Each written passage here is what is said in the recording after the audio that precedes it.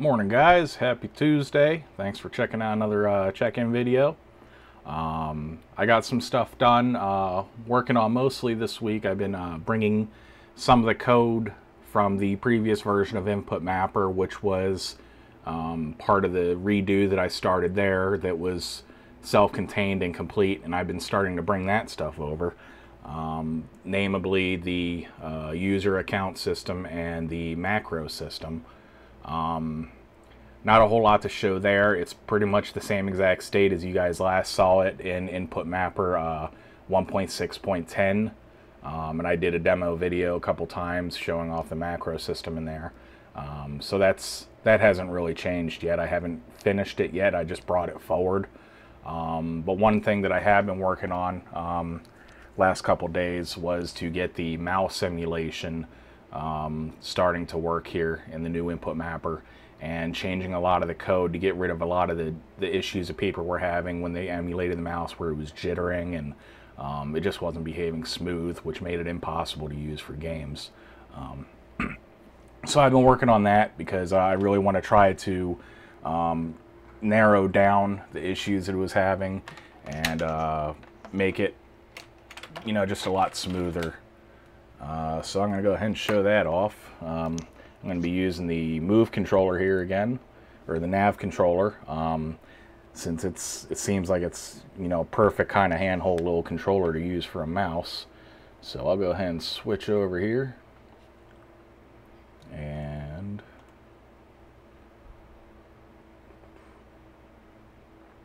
I had a couple bugs that I think I fixed this morning. Hopefully. Um, hopefully those don't pop back up and it actually works here.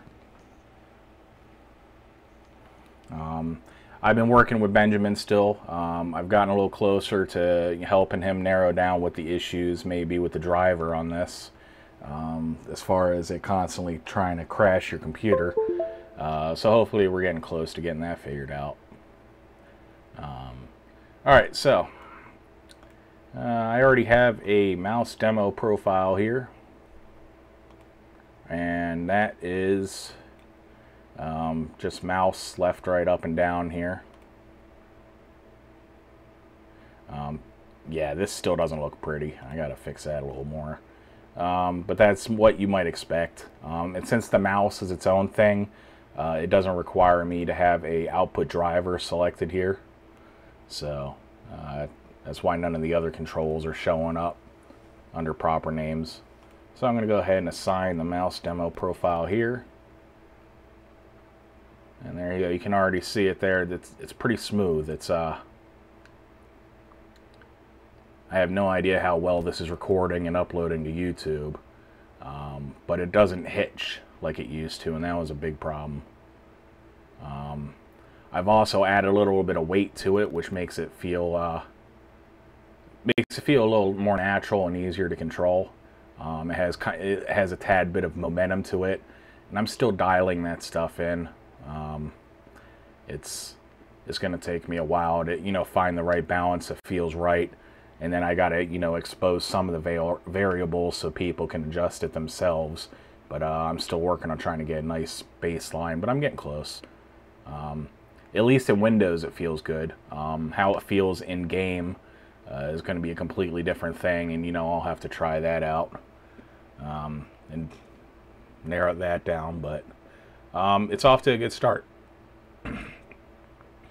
so uh, I'm going to go ahead and unplug this until before uh, it causes the computer to self-destruct uh, because of the driver issues it's having. Um, but yeah, other than that, um, a lot of the bugs that were showing up last week, I got those hammered out. Um, added some more of the missing icons and missing uh, control names, stuff like that.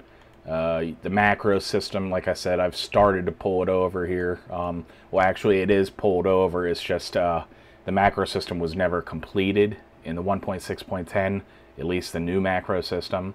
So it's still at the same stage here. So we still have uh, the empty triggers, but you know the macro commands are still the same as what they were before. Couple missing icons. We got to fix those. Um, record functionality is still the same as it was. So, um, yeah, nothing there's changed. It's just now it's brought forward. Um, and I'll continue to do that with the UAC system here. Um, but yeah, that's about it. Um, this week it's going to be um, hammering down the mouse uh, input should be done in the next i mean that probably won't even take the rest of the day.